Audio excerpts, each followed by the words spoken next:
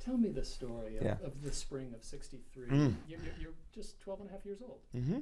And um, Mhm. all of this just torrent of Mm-hmm. protest would Sure. unfold in a couple of months there, Sure. April and May. And Sure.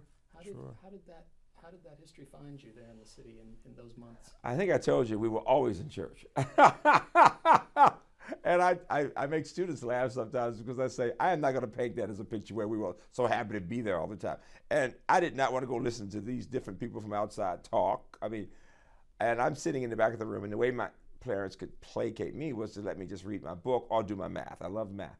And so I'd sit in the back of the church because you had to be there, and I'd listen to a bit. And I, you learn to sing the songs, and the songs were good. But amazingly, when I heard this man say that what he was proposing, and that is involving children in the march, could lead to children being able to go to any to the best schools in our city. Now that got my attention because I wanted to see just how smart these white kids were. I didn't think anybody was smarter than I was. And to me, though, smart was not about what you're born with. Smart had to do with how hard you were willing to work.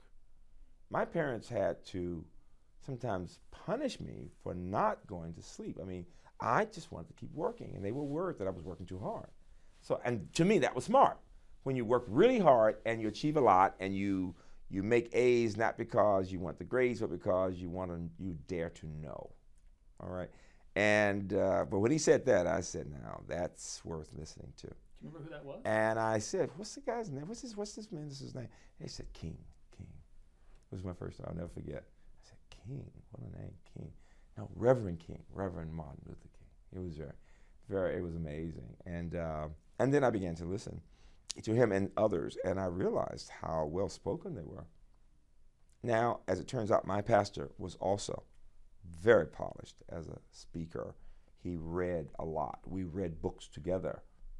So we were accustomed to polished speakers, but this man was talking about um, the next level, what it would take to change things. Because what, what we don't remember is that while we knew things were not fair, we tended to think this is the way of the world.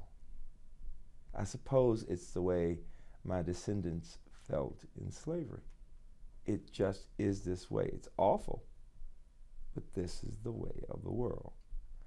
And before that King message, that message from Dr. King, the thought was since this is the way of the world, you've got to be really good to get a chance at all.